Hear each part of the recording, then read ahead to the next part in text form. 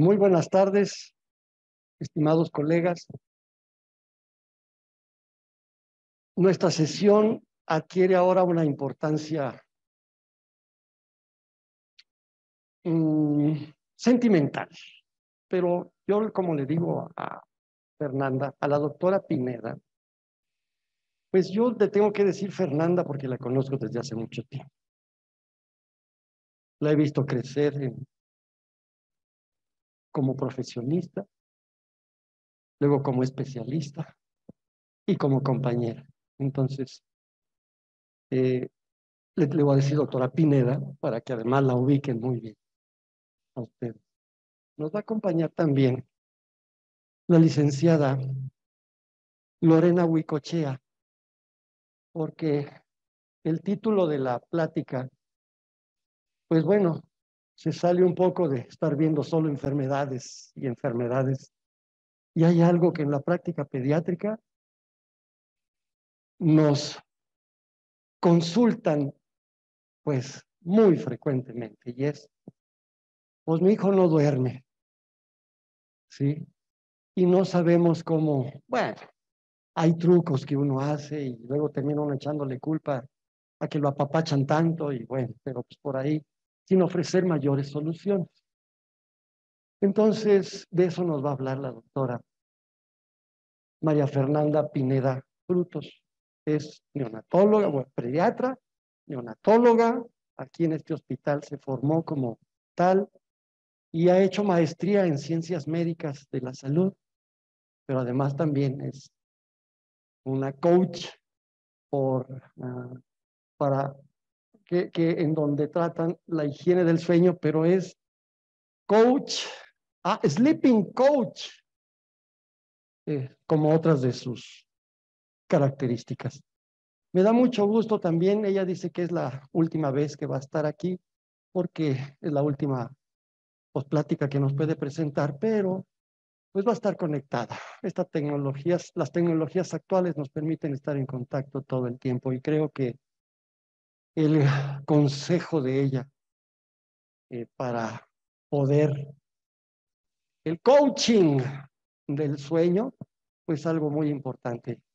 Marifer, Fernanda, felicidades por tu viaje, pero además bienvenida y te doy. Muchas gracias. Bueno, me voy a quitar el cubrebocas porque me siento muy rara hablando así. Eh, muchas gracias a todos por estar aquí y por conectarse con nosotros. Eh, desde hace tiempo tenía ganas de darles esta plática. Eh, yo eh, sufrí mucho con mi hija porque no dormía. Eh, tenía nueve meses y seguía sin dormir de corrido y leí cuatro libros, estaba desesperada.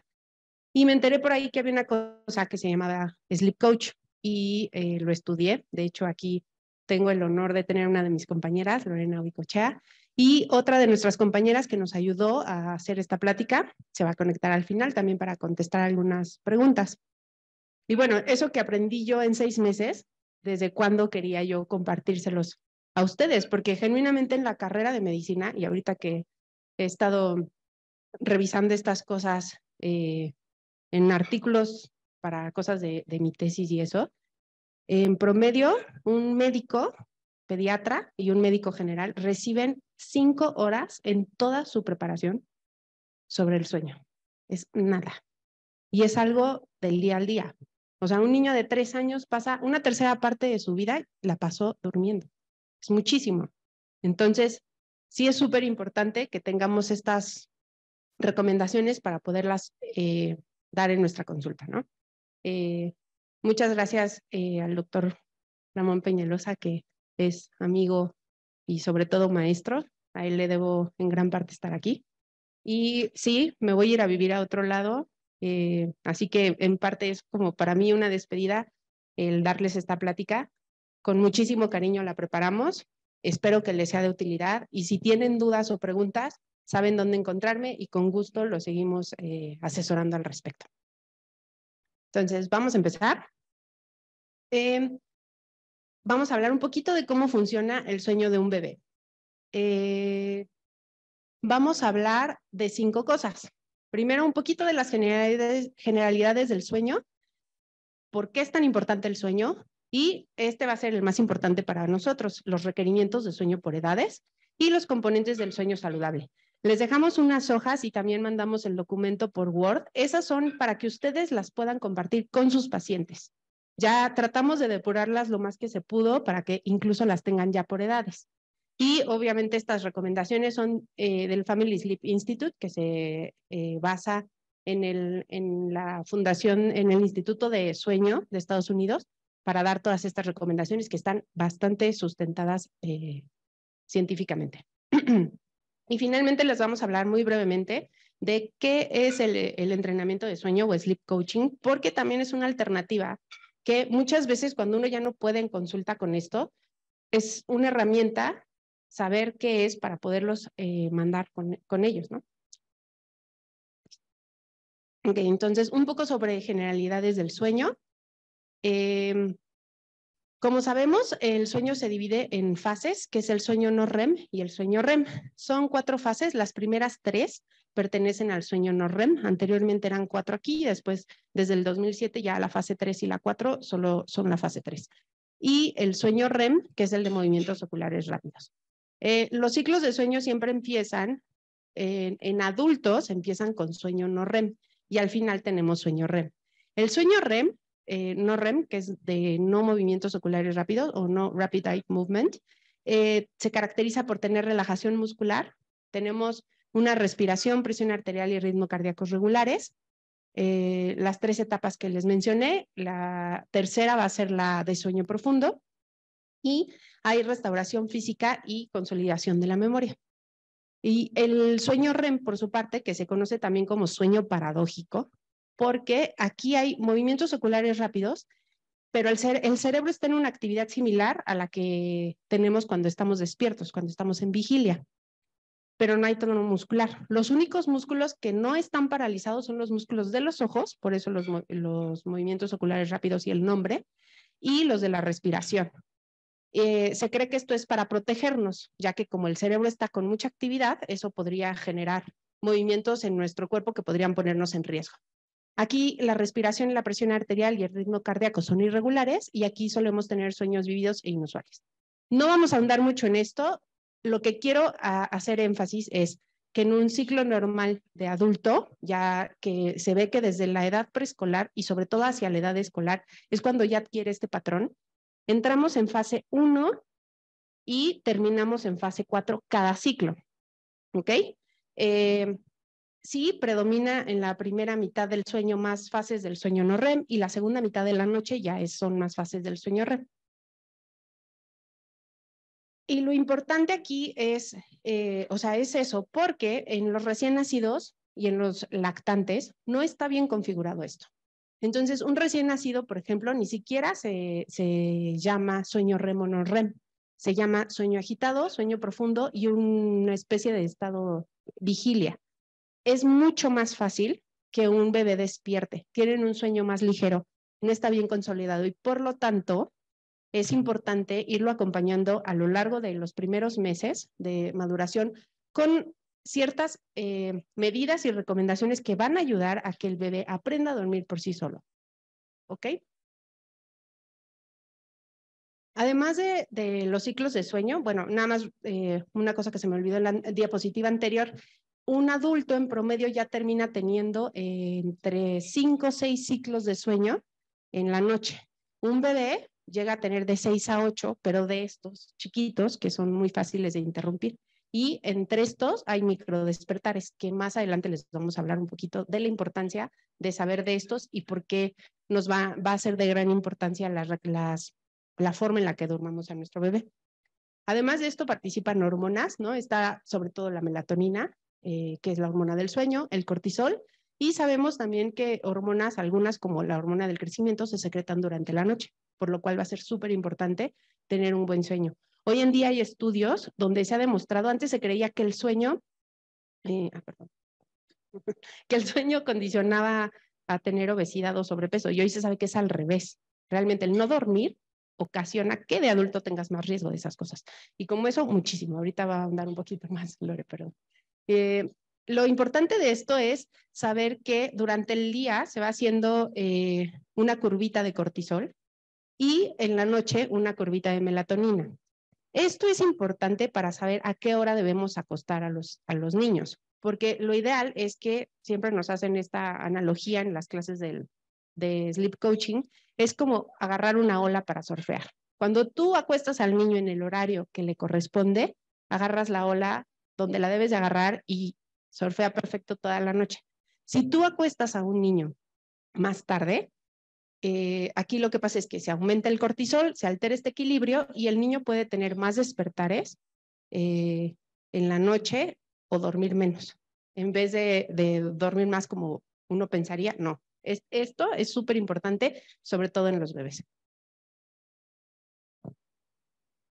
Bueno, pues la importancia del sueño, ¿no? Todos siempre sabemos, dormir es vital, eh, pasamos la mitad de nuestra vida durmiendo, pero se nos olvida, ¿no? Y lo dejamos como en último lugar y decimos, pues después me duermo, sí, eh, y, dormimos como sea y a la hora que sea, y pensamos que también nuestros pequeños deben de adaptarse mucho a nuestros horarios, no pensando y no teniendo en cuenta lo importante que es el sueño. Voy aquí a ver.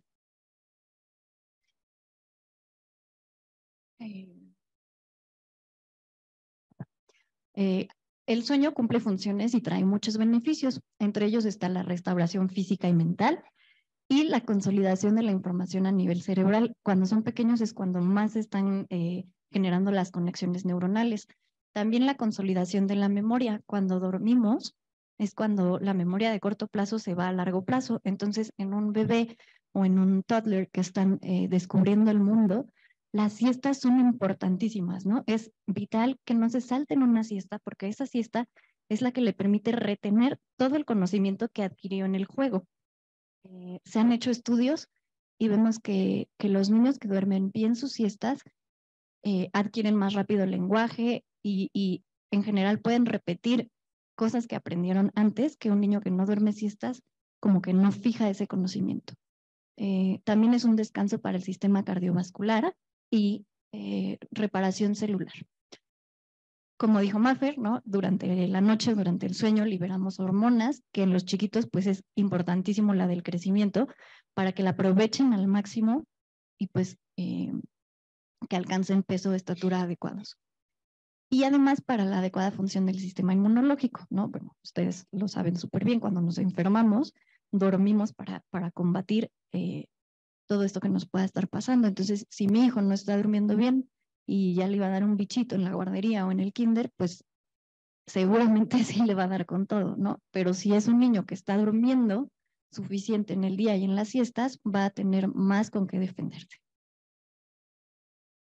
Y bueno, las consecuencias de que no duerman son muchísimas y para los papás a veces son claras y a veces no, ¿no? Eh, las físicas nunca son tan claras como lo que decía de la obesidad. Eh, un niño que tiene sueño, su cuerpo le pide más consumo de azúcar y entonces esto nos lleva a obesidad. Eh, pues también justamente no aprovechan al máximo las hormonas y entonces vemos una alteración en el crecimiento. Pero las consecuencias mentales, emocionales y cognitivas, esas son las que a los papás les quedan súper claras, ¿no? En lo emocional, pues un niño que está cansado, un niño que no duerme, es un niño que hace muchos más berrinches, ¿no? Es un niño al que le está costando trabajo generar un vínculo porque se frustra más rápido, porque se desespera de todo, ¿no? No es un niño con paciencia que, claro, todos los niños quieren jugar y quieren aprender y quieren investigar, pero un niño que está descansado eh, está mucho más tranquilo para, para hacer las cosas.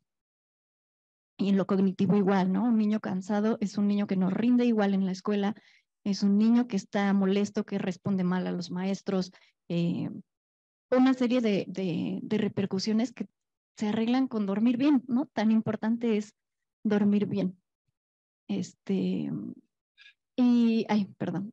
Bueno, en consecuencia, un niño que está enojado, que es berrinchudo, que se siente cansado, que está frustrado, que se desespera pronto, a largo plazo con los papás, pues hay más tendencia de estos papás a que tengan ansiedad o que tengan depresión. En las mamás sucede mucho, ¿no? La falta de sueño del bebé puede alargar una depresión postparto años. Este, y entonces también se rompe eh, la dinámica familiar, se ve afectada el vínculo eh, de los papás, de los hijos, se, se, pues, se condiciona por el tema del sueño, ¿no? Incluso entre los papás, cuando los dos están súper cansados, empieza a haber muchos más roces, este, y, y, y, conflictos que se resolverían simplemente con tener esta información, ¿no? Y bueno, ahora aquí viene ya lo más importante. Eh, aquí tratamos de resumirles eh, las recomendaciones de sueño por edad. Si tienen su hoja y quieren revisarlo para tomar anotaciones, es a partir de la segunda hoja, de la, de la segunda página, perdón, atrás de la primera hoja. Eh, al final vamos a hablar de la primera página. antes de entrar a esto, realmente, como tal, para recomendaciones de sueño por edad, sí vamos a abarcar de recién nacidos y por meses, pero tienen que saber que el, si, si nosotros seguimos las recomendaciones de higiene del sueño al pie de la letra, entre un 60 y 70% de los niños va a dormir de corrido para los seis meses, hasta los seis meses de edad. Porque a los cuatro meses es cuando se dan ciertos cambios que son importantes a nivel del desarrollo, que van a permitir que el niño realmente empiece a aprovechar estas recomendaciones de higiene del sueño. Pero si la seguimos de corrido, o sea, si la seguimos bien al pie de la letra, 60-70% a los seis meses ya duerme de corrido. Y si la seguimos bien, ese 30% restante lo va a hacer para los nueve meses. No es fácil, ahorita van a irlas viendo, eh, pero bueno, esto sí es algo que si ustedes le dicen a sus pacientes, si lo hacen al pie de la letra, te prometo que va a ser así y sí va a ser así. ¿Ok? Rápidamente, unos conceptos. Eh, muletilla o asociación de sueño va a ser eh, algo que nosotros ocasionamos que el bebé necesite para dormir, ¿no? Eh, por ejemplo, la más común, que se reporta en todos los estudios, la muletilla más común es comer. Entonces, muchas veces las mamás tendemos a, a, darles de comer a los bebés para dormirlos y eso se vuelve una muletilla. Después, el bebé necesita fuerza a comer para volver a conciliar el sueño. Ahorita vamos a hablar un poco de eso. Eh, la muletilla puede ser cargarlo en brazos, mecerlo, varias cosas. La ventana de sueño va a ser el tiempo que el niño puede permanecer despierto acorde a su edad. ¿Ok? les vamos a compartir unos cuadritos donde viene esto. Y finalmente, señales de sueño van a ser eh, las, esas, esas este, señales que nuestros hijos empiezan a presentar o el bebé empieza a presentar de que tiene sueño. Las más comunes al inicio son eh, que empieza a bostezar, que se tallen los ojitos, algunos se agarran las orejas, algunos se les ponen rojos los ojos, ya cuando estamos con señales tardías ya se ponen irritables, empiezan a llorar. Cada niño tiene señales en particular, pero bueno, para que sepan estos conceptos que vamos a tratar adelante. Em, es súper importante que les compartan a sus pacientes las recomendaciones para sueño seguro. Eh, este año se hicieron unas actualizaciones y se sabe que el seguir estas recomendaciones que se reducen un 50% el síndrome de muerte súbita del lactante. En general, durante el sueño es acostar al bebé sobre su espalda y en una superficie firme. Incluso en las actualizaciones de este año ya no se recomienda la posición antirreflujo. Compartir habitación con los padres hasta los seis meses, pero no superficie, nunca superficie. Compartir superficie con, con, con los bebés, o sea, el colecho, de acuerdo a las recomendaciones y a, la, Academia Americana de Pediatría, aumenta de 5 a 10 veces el riesgo de síndrome de muerte súbita del lactante. Eh, la cuna debe estar completamente vacía, sin juguetes, sin cobijas. Eh, la temperatura debe ser entre 20 y 22 grados. En la última recomendación no se, se recomienda no usar ni siquiera gorros para dormir. La lactancia materna, obviamente, eh, es un factor protector. Se recomienda los primeros dos años y por lo menos hasta los primeros seis meses de vida. Sí eh, menciona el chupón como una herramienta y un factor protector para el, sueño seguro, pero una vez que la lactancia se haya establecido, que es aproximadamente al mes de vida más o menos. Evitar consumo de alcohol, drogas o cigarrillo, obviamente durante el embarazo y todas las personas que están cerca del bebé. Y que tengan su cartilla de vacunación actualizada y ahora ya incluye también que se les ponga en Tommy Time, supervisado desde el primer mes. Entonces, para los recién nacidos, eh, ¿Alguien pregunta algo? Tummy time es poner a los bebés boca abajo. Es tiempo en la, sobre la pancita. ponerlos boca abajo para que estén eh, ejercitando los músculos. Ven que antes eh, nos dormían así y entonces no era necesario poner como indicación el tummy time, pero ahora que las recomendaciones han cambiado, es necesario porque los bebés están teniendo mucha plagiocefalia y, ha habido también retrasos en el desarrollo porque no pasan suficiente tiempo boca abajo. Entonces eso fortalece todo el cuello y la espalda. Ok, entonces, para los recién nacidos, lo ideal es no dejarlos dormir más de tres horas durante el día. ¿Por qué? Porque va a ser el tiempo que necesitan entre toma y toma. Hay algunos bebés, ustedes lo habrán visto en su consulta, que llegan a dormir hasta cinco o seis horas de corrido, aunque sean recién nacidos. Si tenemos un bebé que va a tener esta característica, obviamente queremos que eso lo haga en la noche, no en el día. Entonces, por eso, si nosotros les recomendamos a los papás que no lo dejen dormir más de tres horas durante el día, favorecemos que este periodo más largo lo vaya haciendo en la noche. La oscuridad se debe de procurar por la noche con silencio y temperatura agradable y por el día luz y ruido normal. Ruido normal, no prenderles la licuadora porque sí nos ha pasado que eh, nos lo han dicho. Eh, que la mamá trate de descansar a la hora que pueda, no importa mucho a qué hora. Aquí, lo, este sí lo tienen que modificar en sus indicaciones. Pusimos consultar máximo de horas que puede dormir, porque si tienen un niño prematuro o con bajo peso, ustedes tienen que darle la indicación a los papás de este niño a las tres horas en la noche sí o sí tiene que comer. O a lo mejor va bien, tiene buen peso y le dan permiso de que a las duerma unas cuatro o cinco horas. ¿Ok? Em, se le pueden sugerir algunas herramientas de calma y eh, el método EASY desde el día uno. Eh, que sí, gracias. Eh, dentro de las herramientas de calma tenemos hacerlo suave taquito, que debe ser de forma adecuada, con los brazos y piernas ajustados, perdón, los brazos ajustados y las piernas y la cadera sueltas, white noise o ruido blanco, y o el movimiento rítmico del doctor Harvey Kappa. En el método Easy de Tracy Hawk eh, les ayuda mucho a las mamás cuando son primerizas y tienes el primer bebé.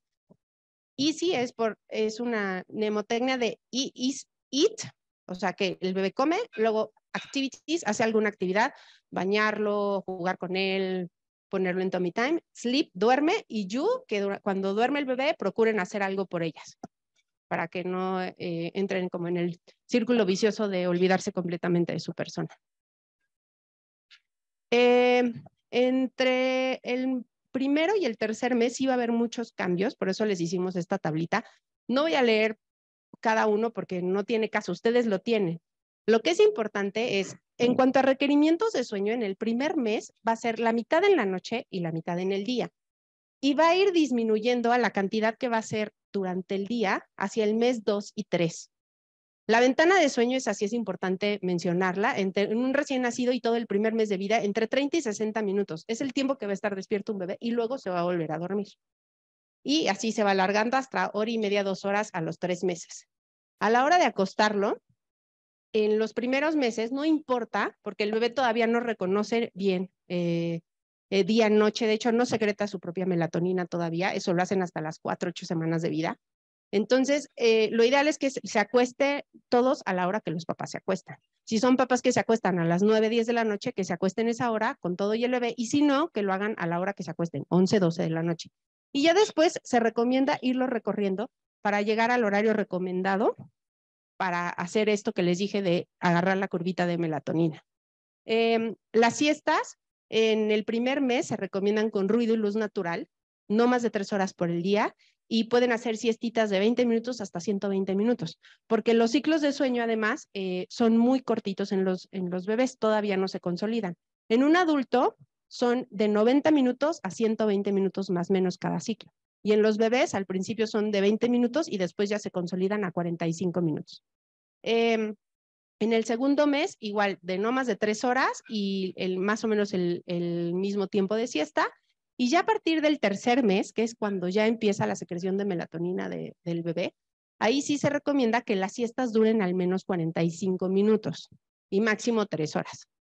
¿Ok? Entonces, bueno, aquí les pusimos también algunas recomendaciones sobre lactancia, que al principio idealmente que sea a demanda o cada tres horas, y que en la noche, si el bebé está bien, tiene buen peso y a criterio obviamente de ustedes, de acuerdo a lo que ustedes requieran en su consulta, a lo mejor les pueden dar permiso para que pase cuatro o cinco horas sin que coma y que no lo estén despertando. Pero eso va a depender mucho de cómo esté el niño, cómo esté su peso, cómo esté su talla. Em, en el segundo mes, lo mismo en general. Y el tercer mes, aquí ojo, porque es cuando tenemos un primer brote de crecimiento y donde muchas mamás dejan la lactancia eh, porque los, senos ya no se llenan tanto, no se sienten tan incurquitados y las mamás creen que tienen menos leche. Y además se junta con que el bebé cumple esta etapa del desarrollo donde está más alerta, más pendiente de todo a su alrededor, se distrae más fácilmente. Entonces, desafortunadamente aquí es donde más mamás lo dejan la lactancia. De hecho, a nivel internacional, y México no es la excepción, eh, la mayoría de las mamás lactan entre tres y cuatro meses y mixta. Y tiene que ver con esto y también con que es cuando casi siempre se terminan las incapacidades y entonces entre el brote de crecimiento, la crisis y el trabajo a veces es insostenible. Pero si uno le advierte a las mamás a veces que va a pasar esto, y por ejemplo, para este brote de crecimiento lo que se recomienda es que le den de comer en el mismo lugar, sin distractores, que procuren como las mismas horas y que las mamás, sabiendo que va a pasar esto, estén más tranquilas antes de darle la toma y no se desesperen si el bebé se está distrayendo o no está fluyendo como fluía antes. Eso puede servir para que las mamás aguanten esta fase y continúen con la lactancia materna. Eh, eh, bueno, entonces, eh, finalmente, nada más en los datos importantes, a partir del segundo mes aparece el Purple Crying, ahorita vamos a hablar de eso, y a partir del tercer mes ya va a empezar, ya tenemos, podemos introducir ya bases del sueño saludables. Ahorita van a ver una diferencia muy importante, sobre todo en la parte de obscuridad y luz, que en recién nacidos les decíamos, recién nacidos y primer mes, pónganles luz en el día para que empiece a regularse y cuando empiece la, secreción de la melatonina sea en las horas que tiene que ser, ¿no? Y bueno, el purple crying o el llanto morado, eh, les recomiendo mucho que revisen esta página si nunca lo han hecho. Nos habla de un periodo eh, que se llama así, purple crying, que es igual una mnemotecnia, es porque es un pico de llanto eh, alrededor de los dos meses, pero puede empezar desde las dos semanas y hasta las cinco semanas. Es eh, inesperado, resiste al consuelo, tiene cara el bebé como si estuviera llorando, dura, puede durar, puede estar llorando más de una hora el bebé y por lo general es en la tarde-noche. Esto se o se confunde mucho con los cólicos. Entonces, igual, conocer esto y enseñárselo a los papás y que ellos sepan que existe, puede hacer que evitemos estarle dando y dando, dando medicamentos para alcohólico, porque de todas formas no se le va a quitar. Es un periodo normal del desarrollo. Eh, falta. Eh, el pico es a los dos meses, se supone que puede durar hasta los cinco meses máximo ahí depende mucho de la personalidad de los bebés. Hay bebés que son muy tranquilos y hay otros bebés que sí son un poquito más sensibles y todo les, les, les irrita, les molesta. Ajá. Y eso sí, a veces sí se echan hasta los cinco meses. Sí, bueno. Bueno, entre los cuatro y seis meses, si se fijan, ya se empieza a homogeneizar un poco los requerimientos de sueño. Van a ser mínimo 10 y máximo hasta 12 horas y eh, vamos a tener en el día todavía requerimientos altos de sueño. La ventana de sueño más o menos en este periodo va a ser de hora y media a tres horas. ¿Qué significa eso? Que si tu bebé se despertó a las seis de la mañana, a partir de las eh, de la hora y media que despertó, que sería eh, las siete, siete y media o tres horas, a las nueve, ya tendríamos que estarlo acostando para su siguiente siesta, ¿ok? Esto es bueno saberlo porque así los papás pueden ir haciendo conciencia de que a lo mejor ya le toca dormir al bebé y, hacer planes alrededor un poco de, los requerimientos de sus bebés. Hay bebés que sí se duermen en donde sea, hay otros que no. Eh, la hora de acostar, en el cuarto mes ya se recomienda que se empiece a establecer lo más cerca de las 8 de la noche. Y a partir del quinto mes y hasta los 36 meses, va a ser entre las 6 y las 8 de la noche, de acuerdo a cada bebé. Eh, las siestas, aquí ya en el cuarto mes empezamos a tener establecido como tal tres siestas y vamos a tratar ya de ponerles cierto horario a estas siestas, eh, que en las recomendaciones que les dimos viene un poco. El quinto y sexto mes debe de ser con sus tres siestas bien establecidas. Ojo, antes del cuarto mes, la verdad es que no hay tanto tema. O sea, pueden hacer cuatro, otros bebés cinco, otros bebés seis, dependiendo la edad un poco. Pero aquí, a partir del cuarto, quinto mes, sí es importante ya que favorezcamos que se hagan esas tres siestas y respetando las ventanas de sueño. Aquí, a los cuatro meses, también viene un poquito pegada la regresión de los, de los cuatro meses y lo mismo, ¿no? O sea, eh, hay que tener eh, paciencia, eh, constancia, ¿no? Más, más los papás que nosotros, nosotros también a veces un poco, em, y se empieza ya a regular la, la secreción de melatonina. Ya empieza a ver desde la cuarta, octava semana, pero aquí ya está regulada. Entonces, con esto que estuvimos haciendo de ponerles en el día luz y en la noche obscuridad, en teoría aquí ya debe estar regulada, entonces a partir de este cuarto mes es cuando ya metemos obscuridad, de preferencia también en las siestas, que ahorita les va a hablar un poco más Lore al respecto. Entre el quinto y sexto mes iniciamos la alimentación complementaria y es una muy buena oportunidad para hacer rutinas más estructuradas. Y muchas veces, lo que les decía, para esta edad ya, sabiendo que son tres siestas con la ventana, introduciendo la alimentación complementaria, la mayoría de los bebés empiezan a dormir de corrido. Si seguimos las recomendaciones de higiene del sueño. Entre los 7 y 9 meses van a requerir de 11 a 12 horas y en el día 3 a 3 horas y media. Las ventanas de sueño se van a, ampliar un poco de 2 a 3 horas y media. Y aquí es donde nos van a hacer eh, la transición de 3 a 2 siestas. Súper importante, las siestas no se quitan, las siestas las dejan. Hay bebés que las dejan, que van a dejar esta tercera siesta desde los 7 meses, hay otros que a los 9 o incluso 10 meses ha habido bebés que llegan a los 12 meses y siguen haciendo tres siestas o de repente algún día la necesitan. Sí es importante que se les ofrezcan a los niños las siestas siempre que las necesiten. Ah, aquí hay también una regresión a los ocho meses y eh, lo que les comentaba, ¿no? De la transición de siestas. Eh, entre los 10 y 13 meses, el requerimiento de sueño sigue siendo igual de 11 a 12. Eh, tenemos aquí ya dos siestas y aquí realmente el tip es la primera siesta, de preferencia que le, mínimo le empiece a las 9 y máximo a las 10 de la mañana.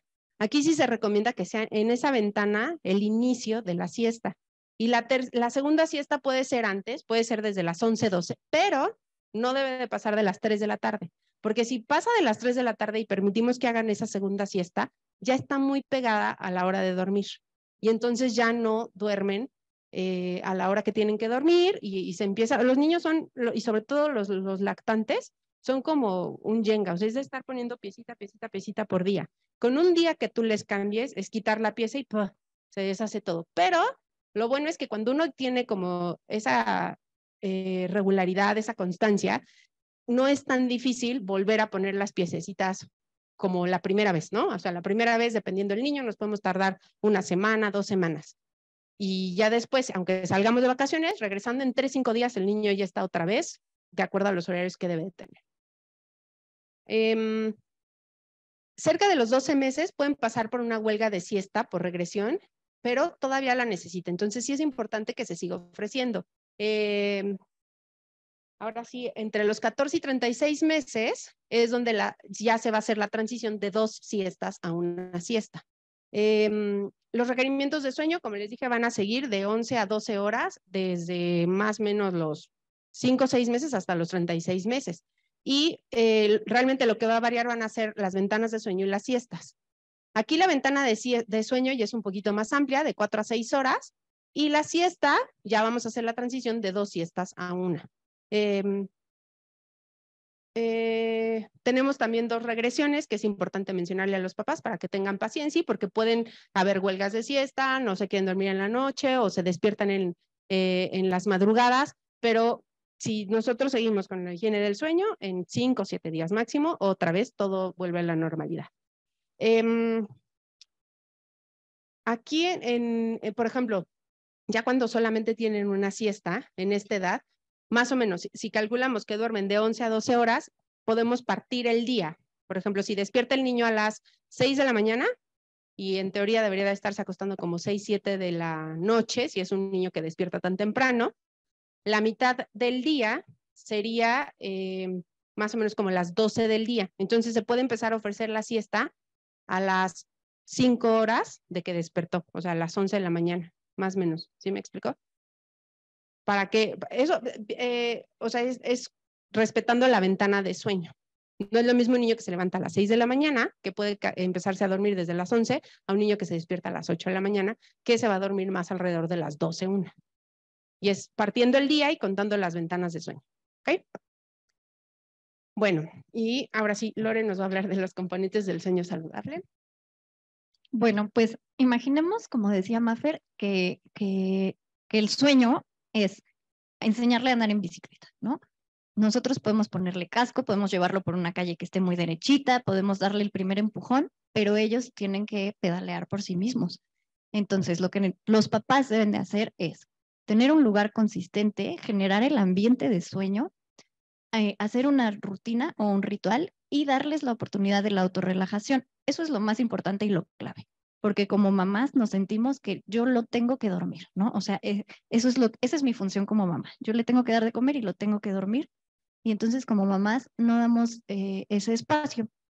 Entonces, un lugar consistente para dormir, bueno, es importante que sea de acuerdo a las recomendaciones de sueño seguro para evitar em, la muerte del lactante y idealmente que las siestas y, y la noche sean en el mismo lugar, porque sucede muy frecuentemente que las siestas las hacen en la cama de la mamá y entonces en la noche por supuesto que no se quiere ir a su cuna, ¿no? Porque pues estoy acostumbrado a dormir siempre aquí en la cama con mi mamá.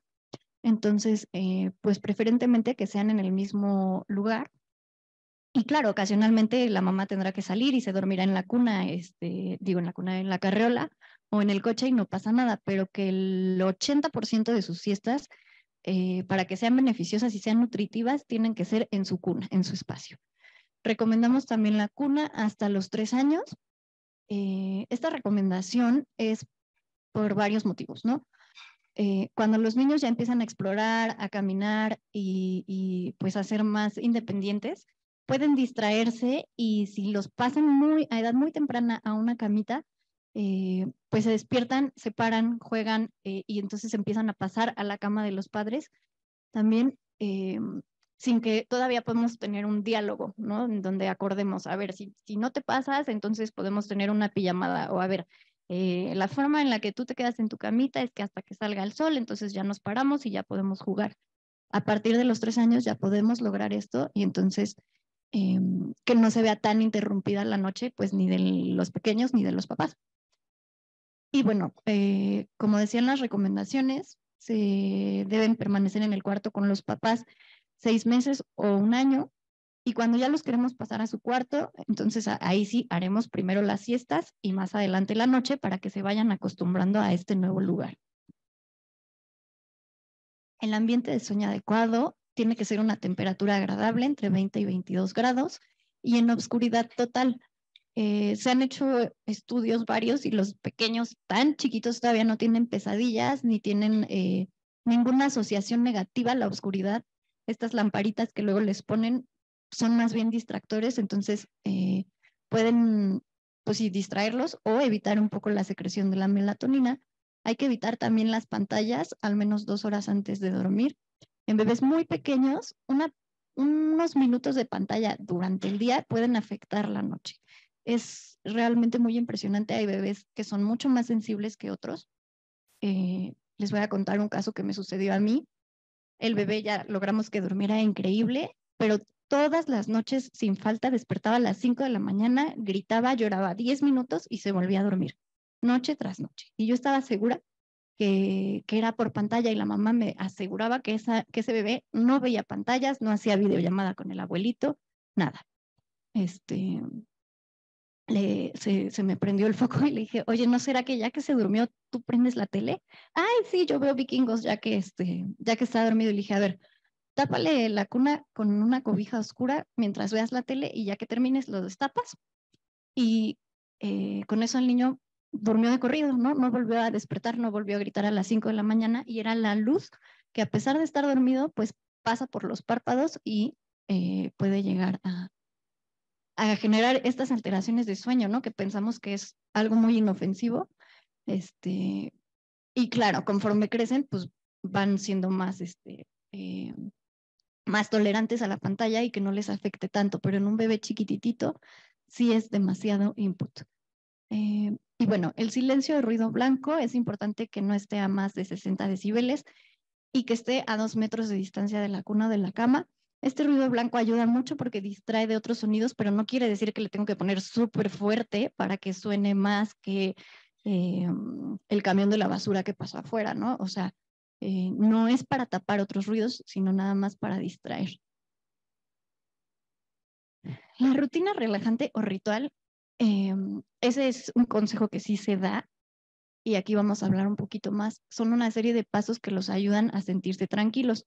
Los niños, conforme empiezan a poder predecir las cosas, se sienten eh, en paz, ¿no? Y, les gusta poder anticipar qué es lo que va a pasar, ¿no? Entonces tiro 100 veces la cucharita a ver si 100 veces se cae al piso y así es como van entendiendo las cosas. Entonces, si nosotros hacemos eh, que sean los mismos pasos una y otra vez, una y otra vez, esto les da seguridad de, ah, ok, ya es mi momento de irme a dormir y mañana eh, despierto y aquí van a estar mis papás y no pasa nada, ¿no? Les permite estar relajados.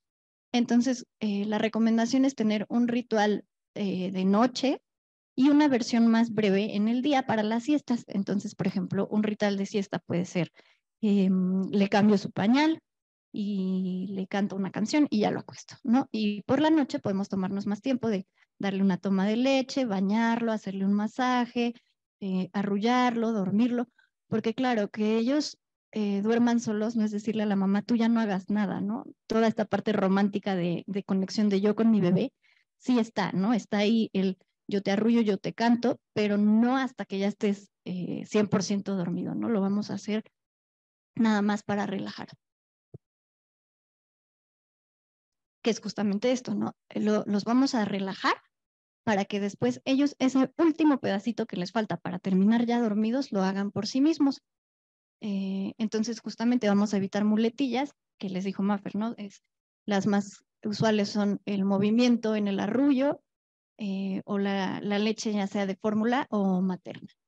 Los vamos a acostar somnolientos, pero despiertos, o sea, casi, casi ya dormido, pero que todavía se dé cuenta en dónde está, ¿no? Es, es importante que ubique dónde y cómo se está quedando. Em, justo como ya veíamos durante el día va subiendo el cortisol, entonces la siesta más fácil de lograr y con la que pueden empezar a practicar es la primera de la mañana porque no hemos tenido oportunidad de que se sobrecansen y, entonces van a lograr agarrar esa ola mucho más fácil. Vamos a crearles el entorno que los ayude a dormir y bueno, entender que los bebés tienen un proceso de sueño distinto al de los adultos, ¿no? Eh, ellos no funciona el, pues duérmelo más tarde para que despierte más tarde. Seguramente si dormimos a un bebé más tarde, va a despertar más temprano, ¿no? Si dormimos a un bebé a las 10 de la noche, es más probable se despierte 5 de la mañana, si no quiero que se despierte 5 de la mañana y yo adelanto esa hora de dormir, va a alargar más sus horas de sueño. Mm, ¿Cómo podemos ayudarlos con la autorrelajación? Bueno, repetimos y repetimos, hay que acostarlo despierto. Eh, empezaremos a practicar con las siestas y mm, conforme la mamá vaya sintiendo fuerzas y ganas, ¿no? O sea, no quiere decir que todas las veces lo tenga que hacer así, pero mientras más lo haga, claro, pues más rápido el bebé va a conseguirlo. Cuando está dormilado, lo ponemos en su cuna para que el bebé complete el proceso. Y si llora, le damos unos segunditos e intentamos calmarlo sin levantarlo. Y si no se calma, entonces lo cargamos, lo relajamos y lo volvemos a poner en su cuna y repetimos el proceso. Em, podemos ayudarlo con el taco, cargándolo, arrullándolo, hacer palmaditas en la espalda. Todas estas son cosas que le ayudan eh, y que podemos hacer para relajarlo, pero que si caemos en el exceso, ¿no? entonces lo convertimos en una muletilla. Si, si, si yo lo arrullo hasta que de verdad ya está súper perdido y no solo hasta relajarlo, entonces ese arrullo, que era una herramienta para relajar, se convierte en una muletilla que va a hacer que en la madrugada se despierte. Bueno, no va a hacer que se despierte, se va a despertar en, em, con el microdespertar del cambio de ciclo pero cuando despierte va a decir, ah, necesito lo que siempre me han dado, que es ese arrullo, porque esa es la forma que conozco de dormirme, entonces por favor mamá ven a arrullarme otra vez. Y bueno, alimentarlos al despertar y no para dormir. También nos ayuda a tener una rutina flexible, que bien Maffer decía que hay que tener estructura, ¿no? Pero esta estructura puede moverse más o menos algunos minutos, porque acostarlo va a depender bastante de cómo ha sido su día. ¿No? Si ya lo vemos cansado, no vamos a decir, ay, no, tu hora es hasta las ocho y bueno, ya son siete y media y tú te mueres de sueño, pero esperamos hasta las ocho, no, ¿no? Ahí vamos a, adaptarnos y a estar súper atentos a las señales de sueño que nos da los bebés o los niños. Y bueno, nada más para recordar, el trabajo del bebé es conciliar el sueño y el de los padres es propiciar el ambiente para que pueda dormirse.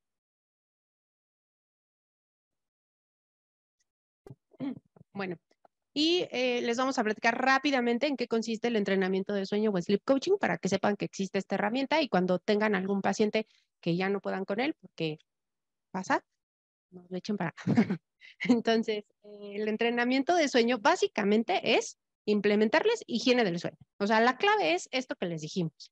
Pero, eh, bueno, hay, hay cuatro métodos en general. La historia del entrenamiento de sueño data desde los ochentas, cuando se em, surgió el primer método por el doctor Weisblut, que es el de extinción o el cry out, que a veces se confunde y le dicen es el Ferber, pero no, el Ferber no es ese.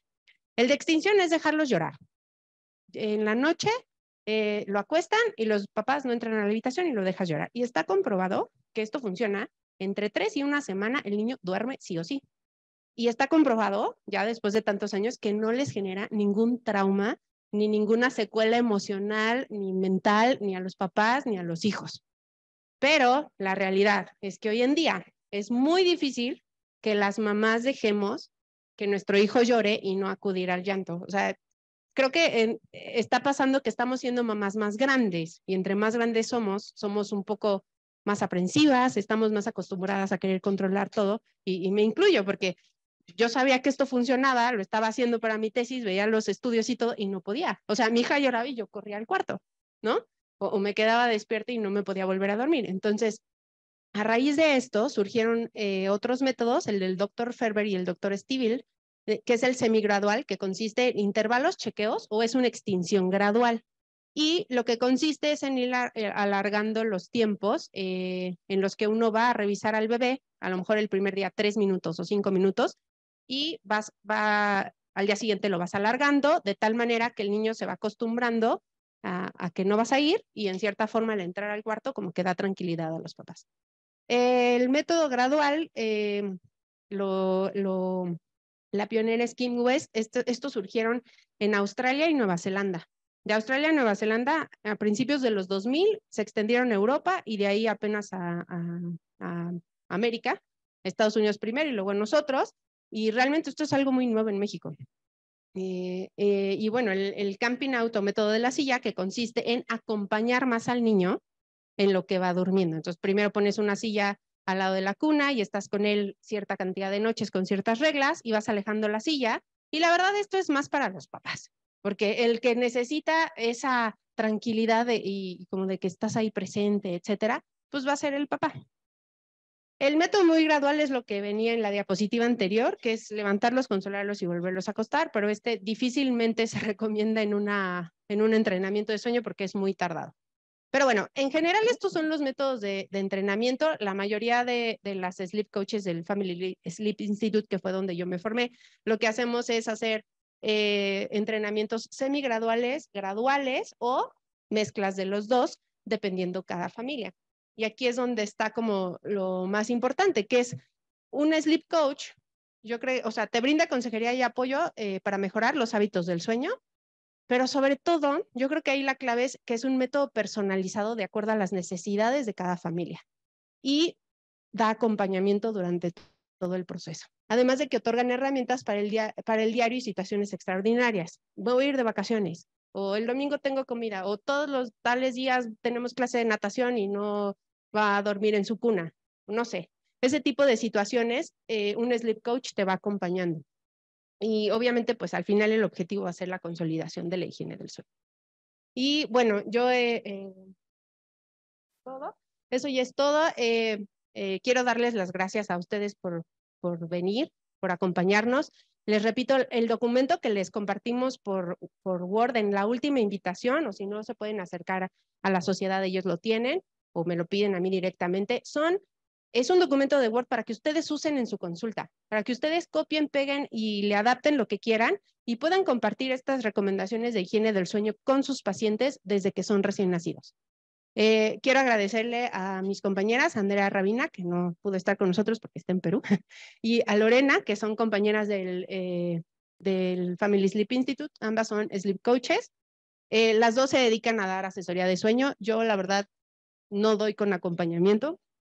Eh, solamente doy un, asesorías de, le puse parenting coaching y es como un poco todo este rollo de la alimentación, sueño, desarrollo y esas cosas que yo sé por experiencia que a veces nos da flojera en la consulta ahondar más, es como, vienes al doctor, vacunas, te reviso ya, lo que sigue, pero que me di cuenta que los papás están buscando, entonces, eh, por eso decidí eh, eh, incursionar en esto, a ver qué tal nos va. Y doy higiene del sueño sin seguimiento, pero Andrea y Lorena, ellas sí pueden ayudarles muchísimo con sus pacientes, ellas dan asesorías con y sin seguimiento era nada más para agradecerles porque la verdad es que sí dedicaron, nos dedicamos como seis semanas a prepararles esta plática porque resumimos el contenido de un curso de seis meses en una sesión y para que les sirviera a ustedes para poderlo compartir en la consulta.